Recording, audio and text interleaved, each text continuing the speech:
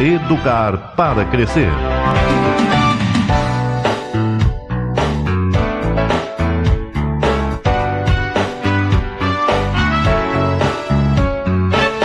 Coordenação e apresentação: Marilena Mota Carvalho.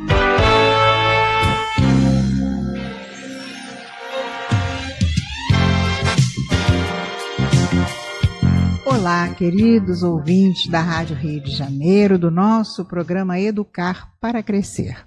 Estamos aqui iniciando o nosso programa, lembrando mais uma vez, como toda semana, que o telefone que fica à disposição dos nossos ouvintes é o 3386 1400. 3386 1400. Obrigada a toda a equipe da Rádio Rio de Janeiro que permite nosso programa no ar. Obrigada a todos os ouvintes da nossa rádio, da internet, do Facebook. Muito obrigada a todos. O, a, o nosso programa tem reprise às quartas-feiras, às duas horas da manhã, aos sábados, às sete horas da manhã, aos domingos, às quatro horas da manhã. Pela internet, e é, o programa de hoje entra amanhã a partir das 17 horas, mas acessando www.radioriodejaneiro.am.br, vocês poderão ver o programa da semana passada e outros programas que tem lá no, no nosso site. Bem, nós vamos. Hoje o nosso convidado é o nosso Antônio Carlos, que tem essa dificuldade de chegar na hora por conta do horário que ele sai do fundão, que ele trabalha no fundão, é engenheiro lá, e não depende dele, tenham certeza, porque às vezes o diretor pede uma palavra, uma reunião assim de última hora. Mas ele insiste com carinho de estar conosco, de com seu coração aberto. Nós agradecemos muito ao Antônio Carlos, porque é uma pessoa assim, ele é do Instituto de Cultura Espírita, ele é lá do, do Rita de Cássia, e tem um trabalho lindo, é um estudioso sério da doutrina espírita que busca vivenciar aquilo que ele estuda. Hoje ele vai falar sobre Allan Kardec e ele nos disse, né? Esse, todo o programa com ele, quando termina, ele diz, né? Estude, é, leia Kardec, estude Kardec viva Kardec. Então, é para que a gente possa colocar em prática tudo aquilo que a codificação kardeciana, né, trouxe para cada um de nós. Então, estamos aguardando a chegada. Ele já mandou uma mensagem que está quase chegando. E enquanto ele não chega, nós vamos adiantando, passando a mensagem. E eu encontrei nesse livro a Vida e Obra de Allan Kardec, que é do Edson Aldi, é da La Chatre. É, esse livro tem um texto sobre educação. Hoje todo mundo está falando de educação, pontos a favor, pontos contra, mas precisamos refletir sobre o que está acontecendo. E Kardec, atualíssimo, porque esse texto que o Edson Aldi coloca aqui no livro, Vida e Obra de Allan Kardec, é um texto que está no livro de Kardec, Textos Pedagógicos, de Hippolyte Leon Denis Arrivaio. Ele ainda não era conhecido é, como Allan Kardec. Ele era o professor Hippolyte Leon Denis Arrivaio quando lançou esse livro, Textos Pedagógicos. Então, nós vamos aproveitar nessa oportunidade para reflexão nossa, não é? passar plano proposto para melhoria da educação pública.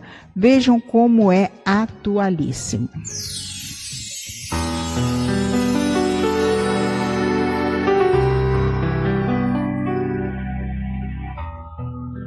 Todo mundo fala da importância da educação.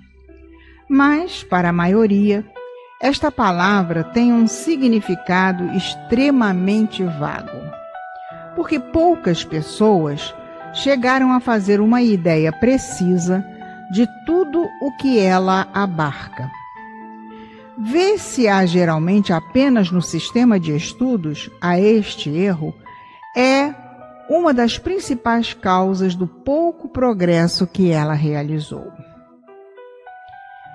Uma outra causa desse atraso prende-se a um preconceito geralmente aceito contra tudo que se liga a esta profissão, o que afasta grande número de homens que, por seu mérito, poderiam contribuir para o seu progresso. A educação é a arte de formar os homens, isto é, a arte de fazer eclodir neles os germes da virtude e abafar os do vício, de desenvolver sua inteligência e de lhes dar instrução própria às suas necessidades. Enfim, de formar o corpo e de lhe dar força e saúde.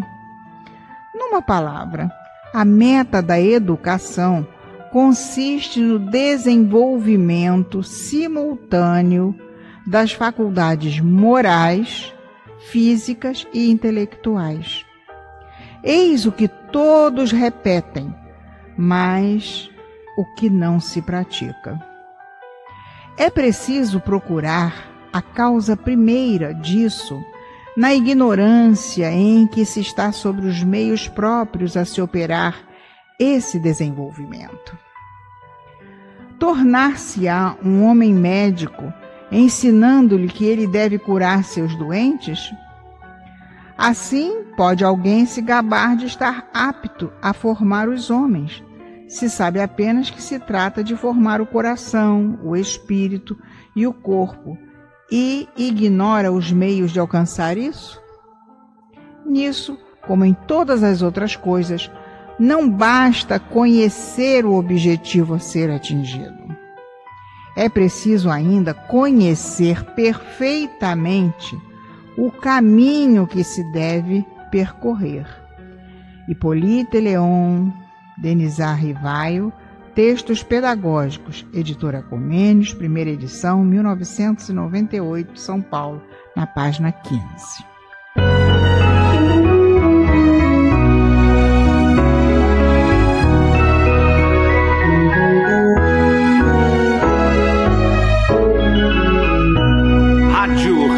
Janeiro, 1400 AM. Continue participando. Está no ar. Educar para crescer.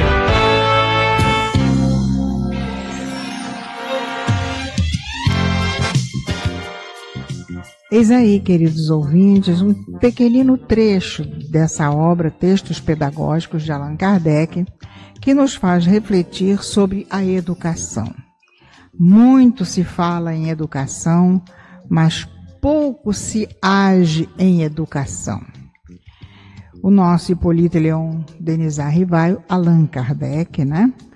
que nasceu a 3 de outubro de 1804.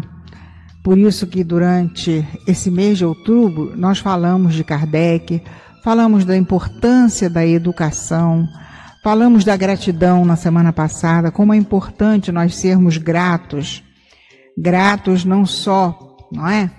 é, a, a, gratidão a Allan Kardec por nos trazer a codificação kardeciana, mas aprendermos a sermos gratos na nossa vida a todos e a tudo.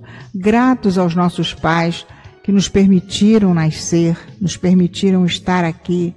Gratos à família que nós temos, gratos acima de tudo a Deus, nosso Pai Criador, que nos permite estar aqui para trilharmos o caminho da evolução espiritual. Então somos muito gratos. E esse mês de outubro a gente coloca temas assim ligados, não é? Não só ao nosso querido Allan Kardec, mas à educação de uma forma geral. Então, a, gente, a 3 de outubro de 1804, nasceu o nosso querido é, Rivail, né? E mais tarde, depois nós vamos ver, né? Aliás, acho que já falamos aqui como ele recebeu o nome de Allan Kardec, né? Ele, o nosso nosso Kardec, ele teve um trabalho exaustivo como professor e falava várias línguas, era uma pessoa assim de muita cultura, já, aluno de Pestalozzi, né? Que é, passou para ele esses princípios da educação de uma forma brilhante. E Kardec, ainda jovenzinho, já dava aulas. Então, até Kardec chegar em 1853, 54, e que tomou conhecimento né, das mesas girantes, Kardec atravessou um longo período como professor, eh, publicando várias obras e trabalhando com a educação, não é? Sempre. E quando foi trazido para ele o fenômeno das mesas girantes, que ele começou, ele era também é, é, um especializado em magnetismo, que ele foi estudar tudo aquilo, ele viu que tinha algo mais, uma inteligência por trás de tudo aquilo. E foi quando, nas suas, nos seus estudos, nas suas pesquisas, por vários pontos, ele chegou à conclusão que realmente tinha uma inteligência por trás de tudo aquilo, e chegou à conclusão de que eram os espíritos. E daí veio o lançamento de O Livro dos Espíritos, a primeira obra a ser publicada por ele, em 1857 que foi a primeira e depois a gente saiu uma segunda edição, a primeira com 500 e poucas perguntas, a segunda com 1019 perguntas, e Kardec não parou. Durante o curto tempo, que podemos dizer que foi um curto tempo que ele esteve entre nós com o conhecimento da doutrina espírita, ele fez muito até desencarnar em 1869. Nosso Antônio Carlos chegou e nós vamos então passar a palavra para que ele faça os cumprimentos iniciais, fale mais uma vez da Casa Espírita que está ligada e do ICEB, Instituto de Cultura Espírita do Brasil. Seja bem-vindo. Obrigado, queridos companheiros, que a paz do Mestre Jesus continue conosco. Só lembrando, o Rita de Cássia fica ali na Almirante Guilherme 265, ali no Leblon. Tem reuniões, reuniões públicas todos os dias às 10h30 da manhã, pela parte da tarde, segunda e quinta, 18 e 20 horas, no sábado, 17 e 19. A evangelização acontece aos sábados, às 9 horas, é, de 9 a 10 e meia, e há em paralelo até uma reunião dos pais. Então dá para levar a criança e participar dessa reunião de pais para discutir os temas e tudo. A, a mocidade espírita acontece quinta e sábado, há grupos distintos, porque o mundo está ficando cada vez mais corrido, cada vez menos chance de todo mundo ter o mesmo horário disponível. O, o ICEB fica ali no Centro Espírita Regeneração, reuniões aos sábados, há cursos sequenci, sequenciados e não sequenciados, todo o planejamento dos cursos vocês encontram no site do ICEB. Eu acho que é www.iceb.org.br. Mas assim, se, se não for isso, é fácil de achar certo. via Google. Né? Mas chegou outubro, é, é, o mês que eu mais gosto do ano, é o mês que nasceu Kardec, é o mês que nasceu Gandhi, é o mês que eu acho que eu tentei convencer todos os meus mentores para que eu nascesse em outubro, não consegui. Né? Eu até brinco agora que eu já estou negociando para desencarnar em outubro, mas bem longe. É, ainda falta é, muito, né? não, bem longe. Eu não estou com pressa não, mas pelo menos deixa eu desencarnar em outubro. né, para dizer que ó, participei desse mês também. Muito justo. Né? E assim, é... Kardec é uma história fascinante. É literalmente a história de como se a vida te dá limão, você faz limonada. A gente lembrar, 1804 ele nasce, Napoleão dominando toda a cultura francesa e influenciando as escolas francesas que os alunos fossem doutrinados e quase que mentalmente escravizados no, naquela ideia que Napoleão era o grande, Napoleão era isso, Napoleão era aquilo, e os pais deles preocupados com que esse ensino podia fazer com o filho dele, resolvem que ele estude não né, na França, mas sim na Suíça. Aí levam ele a Iverdun e ele conhece lá o Pestalozzi, que é o pai da pedagogia, que eh, fundamenta e, e, e digamos assim, o, o, pedagogo, o professor é, dentro do Kardec é muito forte, ele é muito professor, ele quer explicar as coisas. Eu não sei se ele queria explicar para que os outros entendessem ou se era isso é interessante que eventualmente o professor às vezes ele explica de tantas formas para meio que se convencer que aquilo ali é o fato. E é, Eu nunca assim, sei qual é, o qual. É né? unânime dizer que Kardec era de uma didática fora de série, que era muito clara a explicação dele, e os livros didáticos lançados por ele, era impossível você não entender o que ele colocava. É, ali. ele, ele primava muito por uma lógica de raciocínio, né? Eu, eu brinco que é muito famoso a lápide do Kardec. Uma coisa que é interessante, que no fundo Kardec não nasceu Kardec, né? Kardec é o pseudônimo que ele adota e que foi um nome que ele teve em outra encarnação, né? Como, digamos assim, um druida, né? Um mago, talvez. Podemos assim dizer, mago entre muitas aspas, né? no sentido do homem que estuda o misticismo, apenas é isso. E o nome dele, Leon Hippolyte Rivail, Denizar Rivail. Hippolyte Leon Denizar é, Rivail. é um nome enorme, né? que era o professor Rivail. E, mas e depois ele adota a alcunha de Kardec e quando ele veio a falecer, ele pediu para que colocassem Allan Kardec no túmulo Isso. dele. Né? De tanto que ele se identificou com a postura. Digamos assim, o apelido ganhou ele mais do que o próprio nome. É verdade. Né? E tem uma coisa interessante, que é que ele nascer, morrer, renascer ainda e progredir sempre, tal é a lei, é a inscrição do túmulo dele. Não tem documento escrito que diga que ele escreveu aquilo. Alguns dizem que ele recebeu essa comunicação e a, a, achou assim tão bonita, tão simples e tão clara que ele pediu, ó, se eu fosse morrer, eh, quando eu morrer, coloquem isso na minha lápide. Eu já tenho até a minha, né? Que é se Kardec errar, eu tô frito.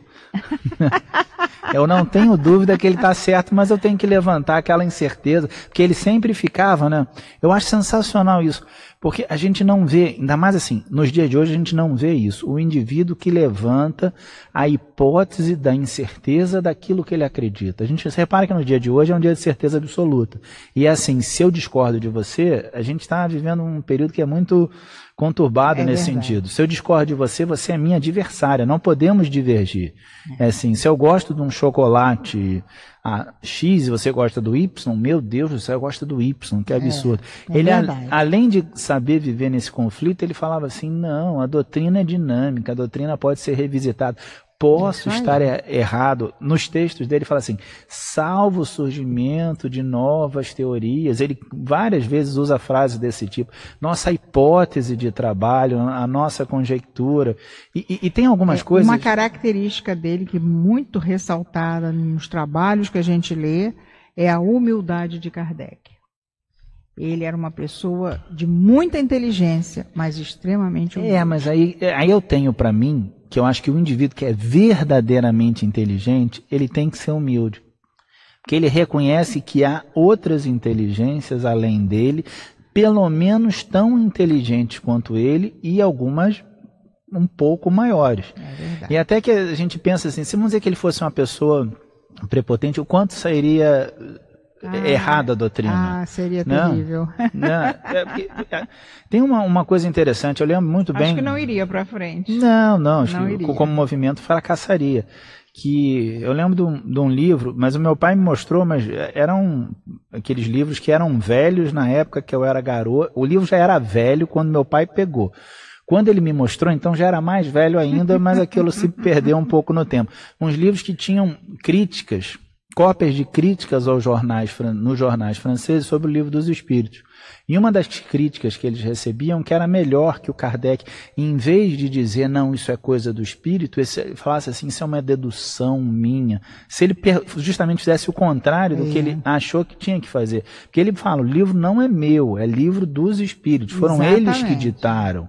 Né? Eu só organizei, ele nunca se... Não, ele, eu não criei a doutrina É. espírita, eu codifiquei a doutrina espírita. É, é, é, é, é um sinal de humildade muito grande que ele Isso, dizer, não, isso aí eu, que é um trabalho gigantesco. Exatamente, exatamente. Eu brincava muito que o Dr. Jorge André sempre lembrava, né, que todos os fatos estão gravados no éter da eternidade, né? Ele usava muito essa frase, né? E, e eu ficava pensando quando a gente vai ter moralidade para ver o que está gravado no éter, como foi Kardec montando a doutrina.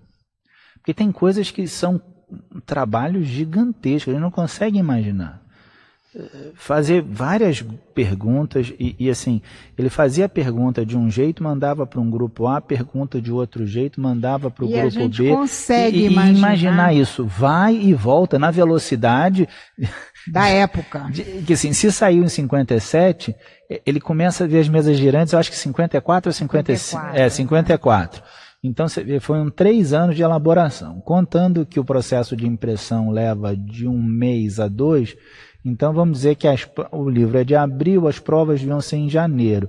Para as provas serem em janeiro, significa que ele escreveu, terminou de escrever isso em 56. É. Meados uma 56. coisa que a gente consegue. Um intervalo de um ano, quase. É, exatamente. Né? Um ano, um ano e meio trabalhando para codificar, que é tudo bem, 590 perguntas, que o primeiro livro dos Espíritos é que a gente não tem ideia do trabalho, e ele fala isso na, na, na, na, introdução da segunda edição, que ele pegou as 590 perguntas, chamou os espíritos e falou assim: está aqui o livro, revejam e vejam se está de acordo com o que vocês estão pensando.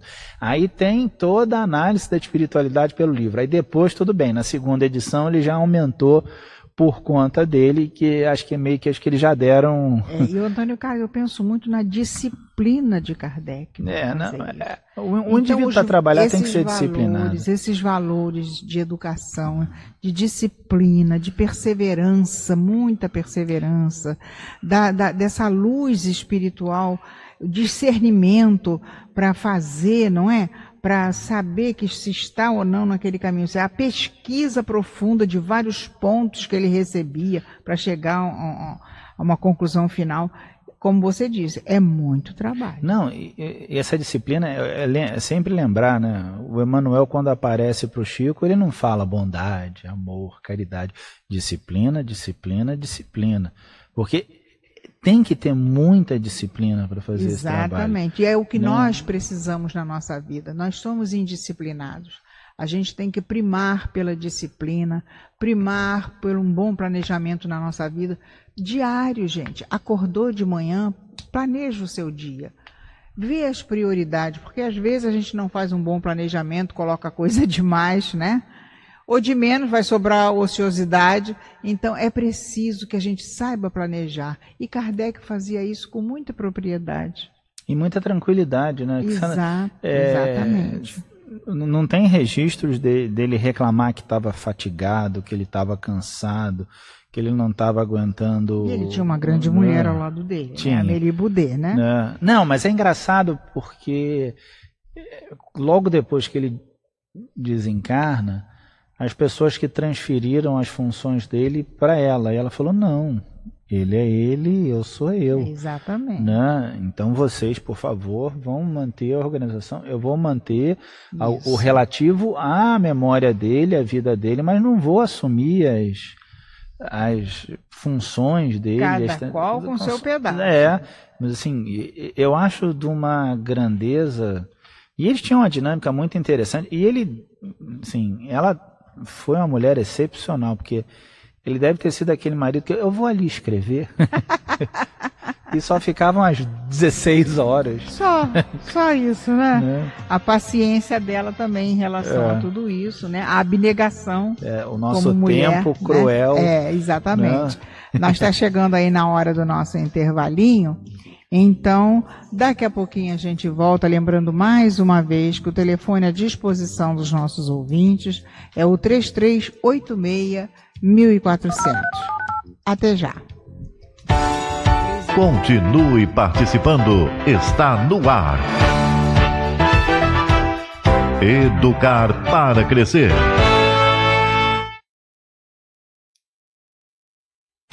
Muito bom ter você no Clube da Fraternidade. Graças à sua contribuição é que este programa está no ar pelas ondas amigas da, da sua Rádio Rio de Janeiro. Obrigado, obrigado.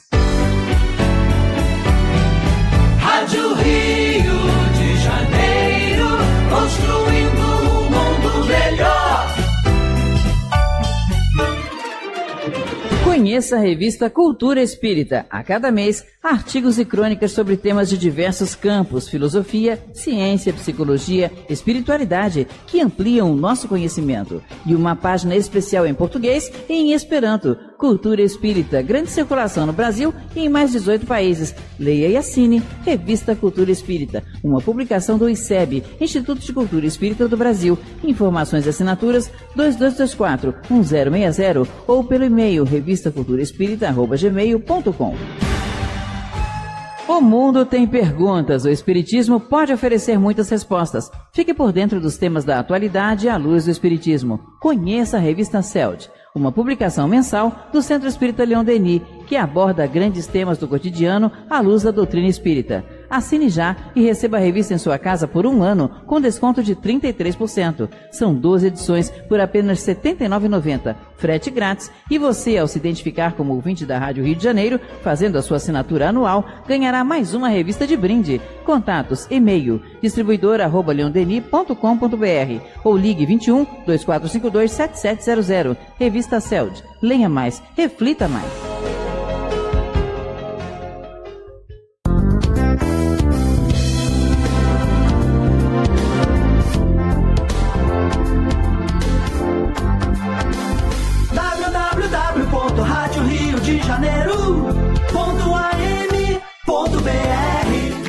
Falar das escolas em tempo integral, ninguém melhor do que os alunos.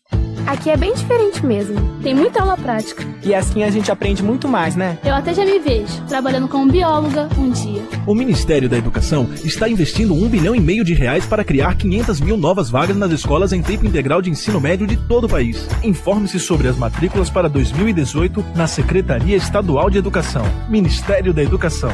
Governo Federal um autor e ator que ressignifica a história da humanidade para falar de amor e de perdão.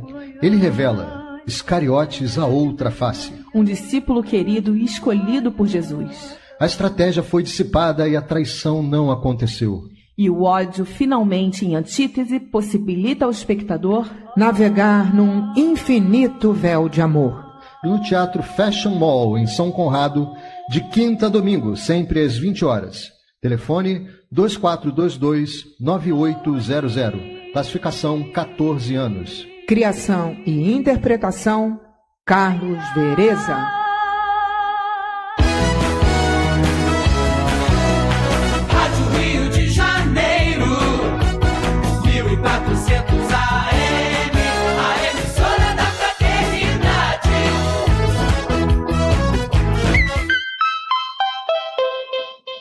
Treze horas e vinte e oito minutos.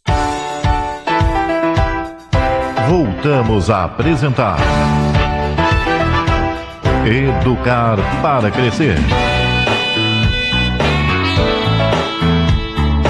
Coordenação e apresentação: Marilena Mota Carvalho.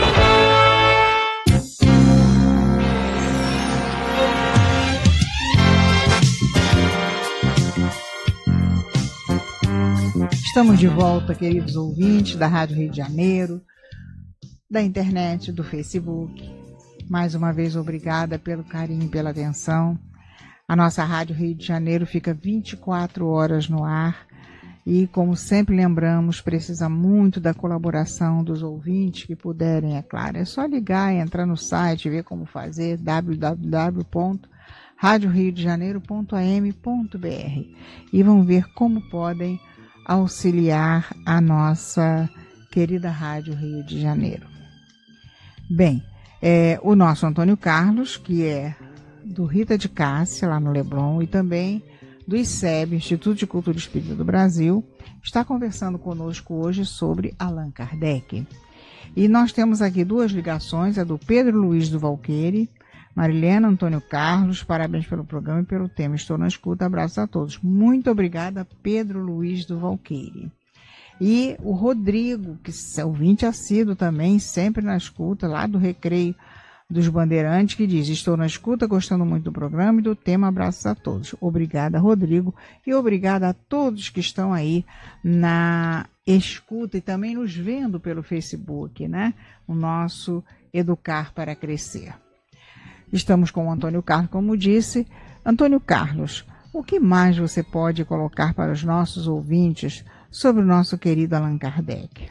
É, o trabalho do Kardec, ele, é, assim, além da gente dizer que é um trabalho de grande monta, ele, ele teve um equilíbrio, assim, que eu acho impressionante. Por exemplo, uma coisa que me marcou desde a primeira vez que eu li, eu gosto muito da abertura dos livros, né, assim, eu acho que não que isso determine se eu vou continuar lendo o livro, mas eh, eu quando era bem moleque, quando comecei a, a ler e escrever, eu pulava todo o prefácio. Eu me lembro do meu pai insistir e falar assim: jamais.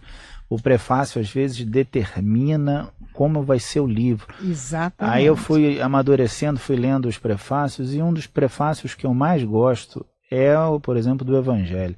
Quando vem o Kardec fala, ó, oh, vou me ater ao Jesus histórico, não vou me ater ao Jesus histórico, né? que essa coisa, se Jesus partia o cabelo ao meio, se o cabelo era preto, se era marrom, se tinha olho verde, tinha olho azul, se estudou com os essênios, se descansava quarta-feira, se a roupa era branca, se a sandália era de trança ou não tinha trança, isso aí não me interessa. Vou me ater ao Jesus moral.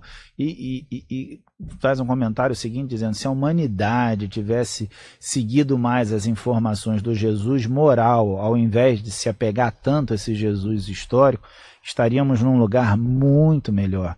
Eu acho fantástico a, assim, a frieza de avaliar e conseguir perceber e, separar não ó, e no fundo é quase como quem diz ó estamos brigando por bobagem né? É isso que o Antônio Carlos está colocando é de extrema importância quando estamos com algum livro em mãos, não deixarmos de ler a introdução, o prefácio, as notas, tudo que é colocado, porque é um esclarecimento importante para aquela obra que nós vamos ler. É, tem. Tudo bem, Kardec está longe de ser perfeito, mas ele fez uma obra ele se, se expõe na obra e fala: olha, se por acaso a ciência vier e negar a doutrina, não precisa reclamar, não. Fica com a ciência e reformula a doutrina. Então, em nenhum momento ele disse que a doutrina era para ser estanque. Você admitir que uma obra é dinâmica, que, que, que trabalha para ser refeita, reavaliada, reconstruída, Exatamente. reorganizada, além do que você fala, da humildade, porque tem que ter uma humildade inerente. Porque, digamos, o, a doutrina espírita é quase que, digamos, um filho dele. Seria, acho que talvez, a coisa que ele se dedicou é, quase a tanto, tanto ou mais tempo do que um pai se dedicaria a um filho. E o coração, né, né Antônio Carlos? Ele, tudo ele fez com sentimento, com o coração, com a real vontade de ajudar o próximo. A caridade. É, a impressão Não que é? dá é que ele viveu aquilo que ele acreditava, exatamente, ele viveu de acordo exatamente. com aquilo que acreditava. É aquela passagem que eh, vem os espíritos dizendo, ó, oh, está muito preocupado com o seu ritmo, está achando que você precisa descansar mais. Isso. Porque ele já trabalhava num ritmo tão intenso, intenso né? que eles falam assim, não, olha, você não vai aguentar, porque a gente sabe que a matéria cansa, a gente precisa dormir, exatamente. precisa comer, e ele ficando nesse ritmo Fantástico. No Obras Póstumas ele recebe uma comunicação dizendo que ele seria a reencarnação de Platão. Aí ele comenta: Eu acho que faz sentido, mas também não, não ficou nem mais contente, nem men menos contente com Exatamente. isso. Eu até brinco e falo assim: a prova que eu não sou Platão reencarnado é porque se eu tenho essa notícia, eu não fazia uma semana nada. Eu ia falar assim: rapaz, sabe da coisa? Sou a reencarnação de Platão. Eu ia ficar na cama, já pensei demais. Essa semana eu vou dar uma descansada. Vocês estão vendo como né? é esse menino, não. mas a gente sabe que ele fala isso, mas não. que é um grande trabalhador, não é? Aqui tem um trecho na introdução do Evangelho segundo o Espiritismo, na parte que fala o objetivo dessa obra, que Kardec fala para evitar inconvenientes, reunimos nesta obra os artigos que podem constituir, propriamente falando, um código de moral universal, sem distinção de culto. Isso é fundamental não é? Não, mas pensa só o seguinte, uma coisa que eu acho fantástica Universal, na doutrina. sem distinção é, de culto. Na doutrina espírita, que ele pergunta, afinal de porque todas as religiões até então, pelo menos as ocidentais, acho que todas elas faz, fazem isso. Advogam que elas são o caminho da salvação. Exatamente. O Exatamente. Kardec vem e pergunta, e afinal, tem religião certa? E os espíritos respondem, não. Isso né? Se Deus é infinito, infinitos caminhos hão de levar a ele. É, há uma busca de algumas pessoas, né, pela integração religiosa. É, mas essa integração. Mas não é uma coisa como era a nível do que Kardec colocava. colocava. É, e, e, essa integração não é só o bom viver, mas sim respeitar as diferenças, diferentes isso, crenças. Isso. Uma coisa que a gente não faz, a gente não analisa a história como espírita. Já reparou isso? Eu, eu me dei conta disso há poucos anos. Porque a gente analisa muito é. a nossa história como espírita, mas não analisa a história como espírita. O que, que eu estou querendo dizer com isso? E o Kardec acho que percebeu bem isso.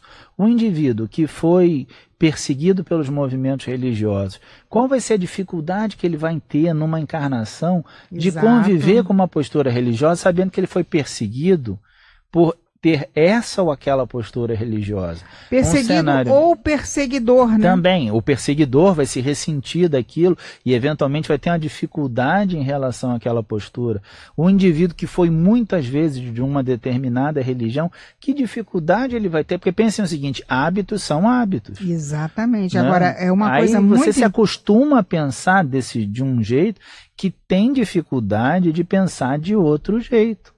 E isso daí, Antônio Carlos, diz que se nós, cada um de nós parar para se observar a como nós somos nessa encarnação, que a gente consegue vislumbrar quem nós fomos é, em outras vidas. Não, e diga-se passagem, o Kardec faz essa pergunta simples, olha para você mesmo. É, Conhece você, a ti é, mesmo. você é exatamente aquilo que você é hoje, só que um pouquinho pior. É isso aí. Então, é, é, a pergunta 919, muito falada, de O Livro dos Espíritos, Conhece a Ti Mesmo, gera uma reflexão muito profunda e importante em cada um de nós. Não, e tem algumas coisas que impressionam no Kardec, é porque pensem o seguinte: o que, que é difícil? Você falar de coisas que você não domina nem o linguajar. Kardec era, por exemplo, fascinado com a comunicação à distância. Eu cheguei uma vez a levantar, eu não lembro agora o número de cabeça, mas eu tenho anotado. É, são algumas dezenas de perguntas onde ele pergunta sobre a comunicação à distância, porque na época era uma coisa totalmente. É, imaginemos isso, né? Em 1850 e alguma coisa. É, ou seja, não tinha telefone. Não. Não tinha televisão. Não. E a internet também não. Não, o meio de né? transporte. É. Né? Não tinha carro. A coisa não. era feita de que forma? Não. Não é?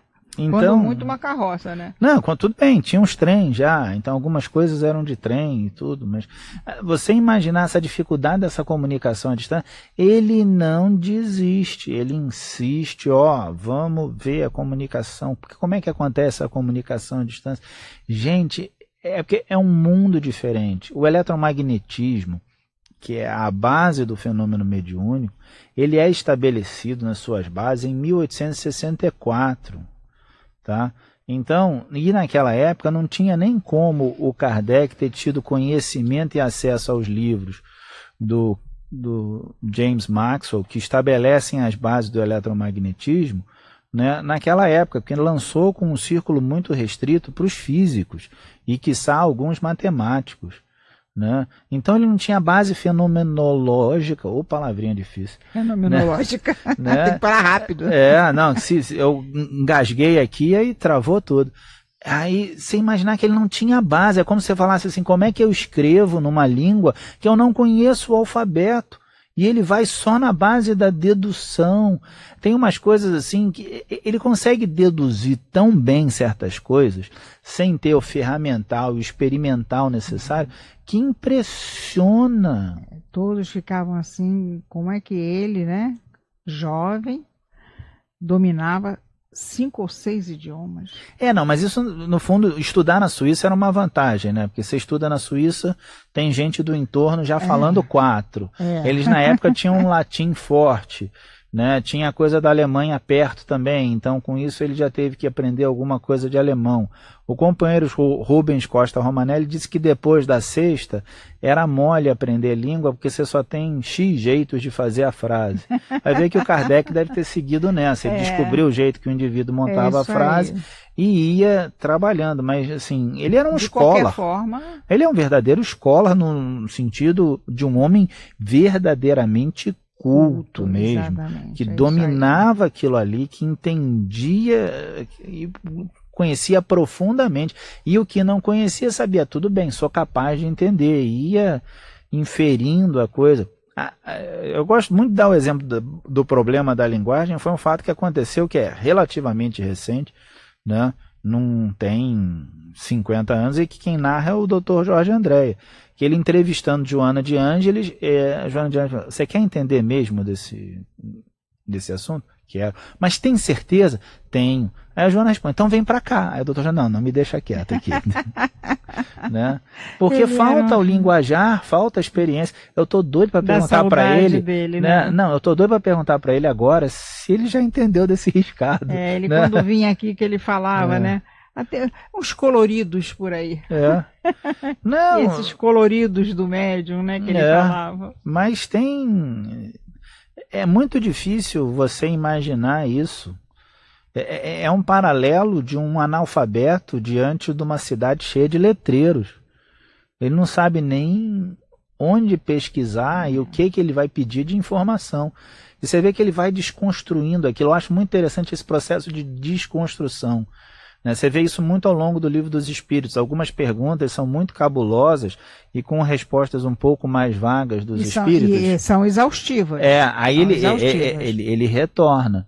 É. Né? Ele retorna, vários assuntos ele retorna e retorna e retorna, que é para enfatizar o, o que ele está querendo. Agora, Antônio Carlos, é, o que, que a gente pode colocar para os nossos ouvintes, que a gente está falando aqui de Kardec, da, da, da, perseverança, dos valores morais de Kardec, né?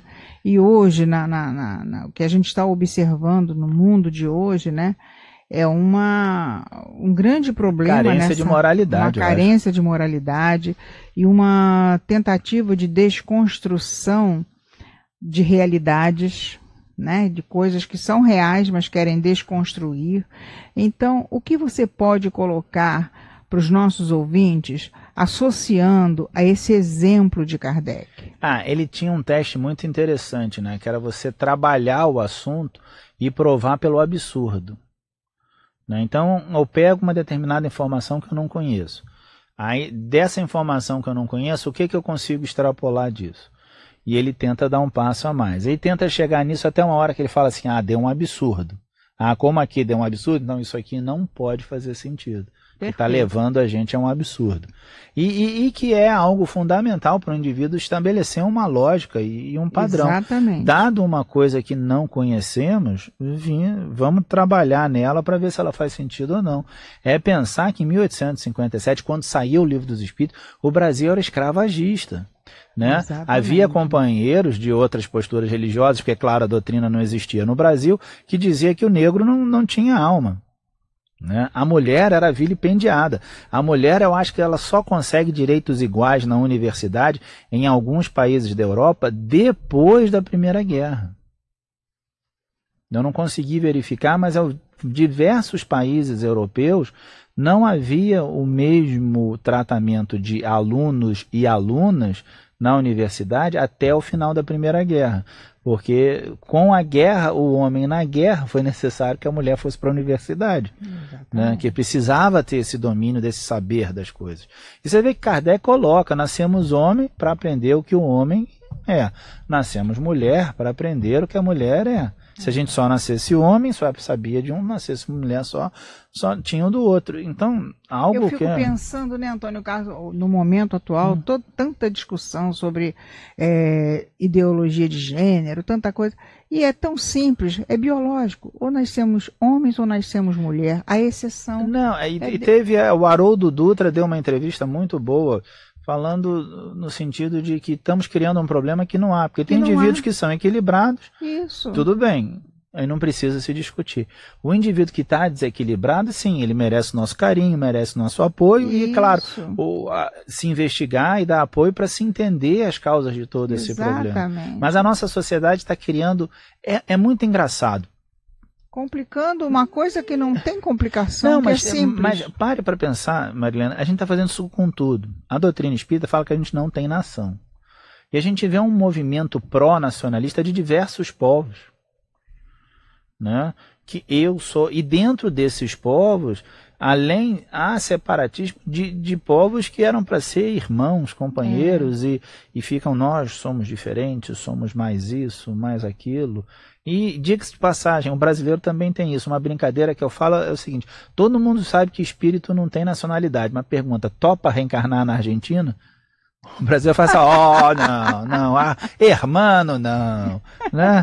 Então a gente tem essa dificuldade mesmo, tem, tem essa coisa ainda de eh, preso do nacionalismo. Você vê que o, o, o espírito se torna liberto disso. A prova disso a gente vê Leon Denis que pegou em armas na Primeira Guerra, defendeu a França querida. Tem livros que ele faz uma ode, um amor à França, e depois ele vê que ele se dedica ao Brasil de uma forma ímpar. É, a gente tem que Né? aprender ainda muita coisa, né, Antônio? Carlos? Tem, é, porque no fundo é, é, acho que isso é que é o principal. A gente está perdendo a vontade de aprender. A gente quer estabelecer valores, esses valores são estanques e tão reais e perenes como o dia e a noite. Mas o pessoal esquece que o dia e a noite estão o tempo todo mudando um pouco. Nenhum dia na, eh, o sol nasce num horário diferente todos os dias do ano. Ele está sempre andando, É sempre aí, mexendo. é então, embora a noite e o dia sejam muito bem definidos, quando eles acontecem, são variáveis. É para mostrar que essa interferência, essa mudança, ocorre dentro do constante. E Kardec aceitou isso de braços abertos. E Né? Ele, vamos aceitar a mudança, vamos construir, vamos trabalhar para a educação, vamos nos tornar melhores. Né? Ele dá a receita. O nosso espírita né, vai ser reconhecido pela capacidade de se reformar. Exatamente. Né?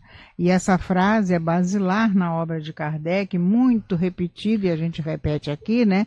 Reconhece-se o verdadeiro espírita pela sua transformação moral Né? e pelos esforços que faz para domar suas más tendências. Espírita aí Kardec colocou, mas é, é- essa assertiva de Kardec serve para a humanidade. Reconhece-se o homem de bem, não é? Pela sua transformação moral e pelos esforços que faz para domar suas más tendências. Esse é o homem de bem. E eu acho que foi isso que Kardec tentou passar para todos nós. Principalmente isso. Não Acho é? que são os valores, como você diz, basilares mesmo. É, a Marilene de Campo Grande, Antônio Carlos, você tem uma percepção que os espíritos estão estudando mais intensamente e com profundidade o livro dos espíritos e a codificação, revista espírita, livros publicados por Allan Kardec, etc., nos dias atuais? Eu acho que eles têm estudado isso sempre. E eles têm livros que eles usam para as reuniões mediúnicas deles, né? Isso, exatamente.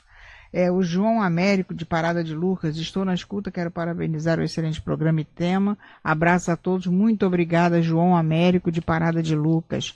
Nós estamos aqui pela Rádio Rio de Janeiro com o telefone 3386-1400 à disposição dos nossos ouvintes. E nós temos também pela internet e pelo site www.radioriodejaneiro.am.br, pelo Facebook com toda uma turma e essa vibração de cada um para nós é de extrema importância para que a gente sentindo essa paz, essa alegria no nosso coração de poder estar aqui é, refletindo e tentando passar da melhor maneira possível esses princípios que o nosso querido Allan Kardec codificou para nós e que é, é, a terceira revelação. Nós tivemos Moisés, tivemos Jesus e Kardec, né? E essa passagem que durou tantos e tantos e tantos e tantos e tantos séculos, né? Até chegar os dias de hoje, a gente fica triste em alguns momentos porque vê que a gente ainda está aprendendo, que a gente ainda tem muitas coisas para consertar dentro de nós, não é mesmo, Antônio Carlos? Mas eh, o lado bom é isso, temos a eternidade para fazê-lo, né? Viu como é que ele resolve rapidinho? Olha, o Gesselano de Nilópolis, Allan Kardec fez parte da franco-maçonaria, Leon Denis também? Eu, eu realmente não sei. Eu já li livros onde eles, digamos assim, sustentam que eles teriam sido maçons, mas não apresentam muito documentos a não ser a opinião do indivíduo, né? É, mas realmente eu não sei, assim, de documento que Kardec tem escrito ligações à maçonaria não há. Leon Denis eu tenho quase certeza que também não há do que ele Uhum. escreveu. Eu já vi pessoas falando sobre eles que eles teriam contatos com maçons. Mas contando que o Kardec teve contato com tanta gente, não É. me assusta que ele tenha tido algum contato com a maçonaria. Uma coisa, por exemplo, que é muito pouco conhecida é que Kardec se torna amigo do Pierre Curie, ainda Pierre Curie muito garotinho, né? Porque Pierre Curie, lembrando, é o marido da o primeiro, primeiro e único, né, que acaba que ela só casou com ele, da Madame Curie, né, e participou dos experimentos, então ele acompanhou alguma coisinha do- dos eventos mediúnicos e tudo. Então é, ha- havia uma interseção dali. Então você vê que Kardec tinha ele era amigo do Vitor Hugo, né? Eles frequentavam as mesmas casas porque o médico de ambos era o mesmo. Aí vocês conseguem imaginar uma tarde de domingo que está lá o médico batendo papo com o Vitor Hugo e chega o Kardec? Eu fico doido de curiosidade, porque eu acho que deve ter tido alguma dessas tardes. E eu queria ser aquela mosquinha, De repente né? estava lá, mas você não lembra, não, é, Não, Antônio não, não, eu não estava lá, não. Eu estava fazendo coisas menos nobres. Antônio Carlos, nós temos aí três minutos e meio de programa. Eu eh, gostaria que você fizesse, então, eh, as suas considerações finais com relação ao nosso queridíssimo Allan Kardec. Ó, vamos lá no Kardec. É sempre bom lembrar. A obra dele é vastíssima.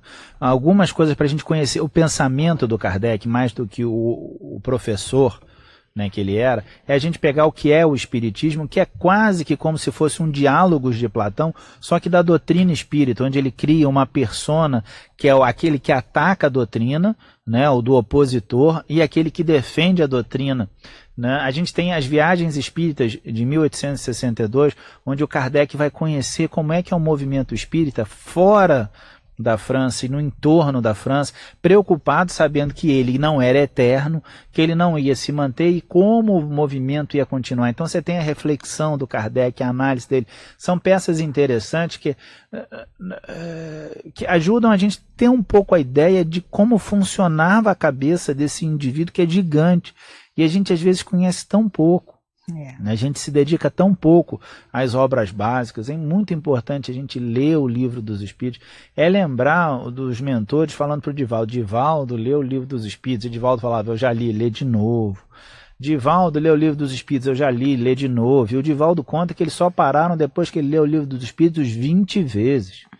Né? Isso está falando de Divaldo. Então, é, é, é, pensar que a gente tem mesmo é que estudar o Kardec, olhar e pensar o que, que será que ele estava querendo dizer, como ele será que ele está querendo dizer, e, e, e fazer como ele mesmo diz, faz a sua autocrítica, faz a sua avaliação. É o que você que, que eu posso melhorar? sempre reforça quando encerra o nosso É, programa. estudem Kardec. É, Leiam Kardec, Kardec, mas estudem Kardec. e vivenciem Kardec. Kardec, né? Isso aí é, é, é difícil. Estou longe de, de seguir os meus próprios conceitos todos os dias, mas eu lembro quase todos os dias disso. E eu acho que a gente tem que tentar praticar isso. Exatamente. Antônio Carlos, muito obrigada por mais uma vez. Eu sei como é difícil a você é, tá atender né? ao seu diretor e vir aqui sempre uma vez por mês, não é? Esse mês não foi possível na terceira, mas foi possível na quarta, terça, que aqui você está é, conosco, né? Então, muito obrigada pelo carinho de atender o nosso convite. E para as suas despedidas, Antônio Carlos. Queridos companheiros, aproveitemos o nosso outubro de Kardec. Vamos usar esse mês para estudar sempre um pouquinho mais o nosso mentor, porque ele não precisa de nós para evoluir, mas nós precisamos muito da doutrina para a nossa pró própria evolução. Paz e bens a todos e leiam Kardec, vivenciem Kardec. É isso aí. Mais uma vez, obrigada e a todos os ouvintes da nossa querida Rádio Rio de Janeiro, da internet, do Facebook, Muito obrigada a todos vocês. Mais uma vez eu digo, tenham certeza de que nós, aqui no estúdio, sentimos toda essa vibração de carinho que são enviadas para nós. Mas tenham certeza também de que toda essa vibração da nossa Rádio Rio de Janeiro, todo esse carinho se transforma também em bênçãos e luz e energia positiva para todos vocês. Muito obrigada e até o nosso próximo encontro, se Deus quiser. A Rádio Rio de Janeiro apresentou Educar para Crescer.